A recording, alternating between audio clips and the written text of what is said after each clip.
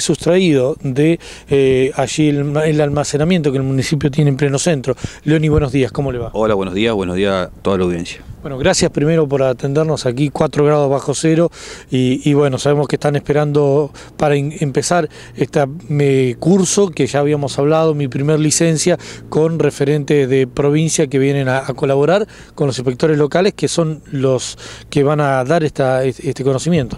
Sí, sí, es así, estamos acá esperando para comenzar el curso.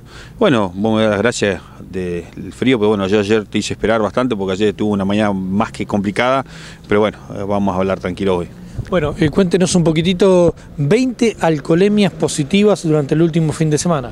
Sí, es así, el fin de semana se retomó la actividad, eh, yo lo había anticipado, llegaron los equipos, no todos llegó, nos está faltando uno todavía, pero trabajamos en un solo grupo, acompañados en un principio por la Policía Rural, que se trabajó desde las 15 horas hasta las 22 aproximadamente en distintos accesos de la localidad, en el cual se secuestraron varios autos por falta de documentación sobre todo, falta de seguro más que nada, y algunas licencias.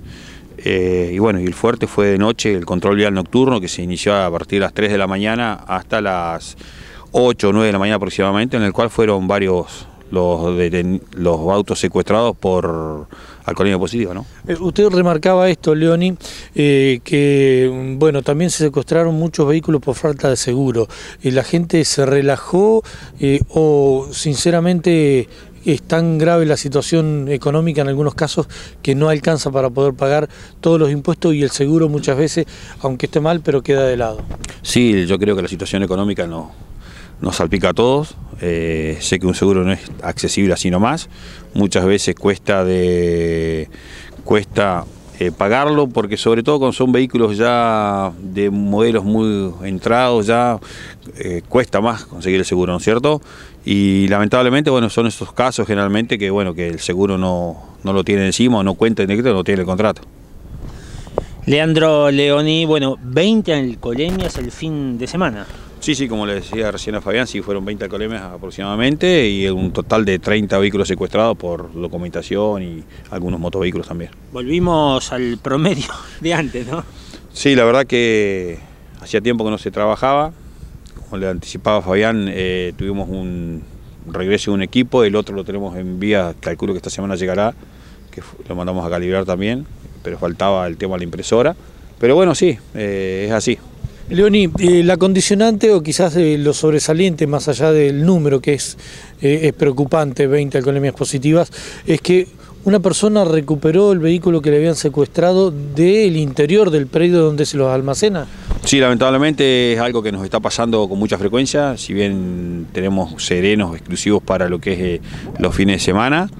Eh, fue un tema muy particular, una camioneta, una Chevrolet S10, que fue sustraída, el conductor le dio alcohol positivo, alcoholemia positiva en este caso, eh, la dejó frenada, el hombre de la grúa le costó mucho bajarla, la tuvo que descargar una palada sobre el sector de Hacienda, no en el fondo del predio donde lo teníamos siempre, dejamos el resto de los vehículos, ya con este, por este tema sobre todo dejamos en el fondo, por lo que nos pasa a veces, y bueno, vino la persona en el furor de que entraban empleados municipales a trabajar, que iban, entraban vehículos, salían, no se percataron, llegó la persona, agarró el auto, lo arrancó y se fue.